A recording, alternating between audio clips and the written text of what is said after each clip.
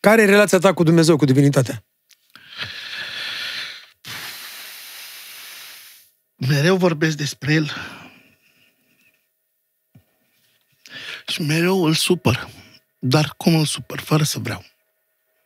Nu știu.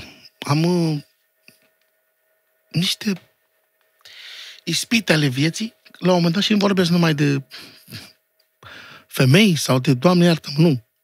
Vorbesc așa de orice. În general. În general. Care de multe ori n-am putut să-mi țin cuvântul din cauza că uh, n-am avut încotro, jur. De multe ori nu am avut încotro și a trebuit să greșesc. Că exact ce ți-am spus, bă, ca să nu supăr pe X, trebuie să greșesc eu Exact. cu Să-mi încalc, mine. să-mi încalc. Cu mine. Dar, încă o dată, și i-am mai și anunțat, bă, am o vârstă, am niște copii. Voi nu mai faceți niște chestii, uh, vă cer ajutor prin vorba asta care vă spun și mă ascultați acum când o să fie.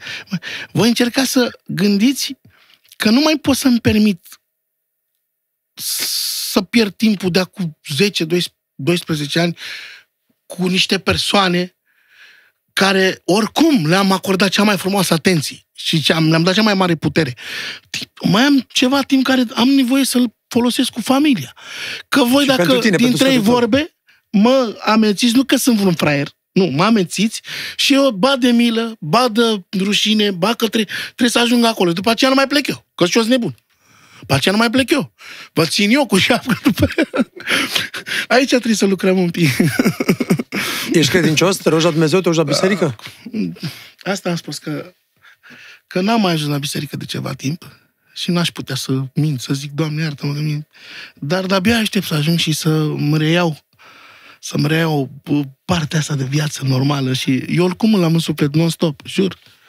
Că n-am cum, îl am în suflet și cine, cine simte un om își dă seama și cum e el față de Dumnezeu. Că de ce? Să vede și eu așa cred. Și eu spun asta cu toată puterea. Bă, te uiți în ochii lui, mai ales la cântăreți. Haide, păi îți dai seama după ce cântă Să vezi. și cum transmite. Băi, cântăreți. Ia, e un bun, mă, dacă m-ar întreba pe mine unul, bă, uite, ăla cântă, da. Ce zici tu, că ești devenit psiholog, vrei, nu vrei, că de alta lume care ai cunoscut. Da, Da, da. Ia vezi, e un bun? Și eu zic, păi pune-l să cânte. Și mă uit în ochii lui, da. Și aud vocea și glasul. Și eu zic, imediat, da sau nu.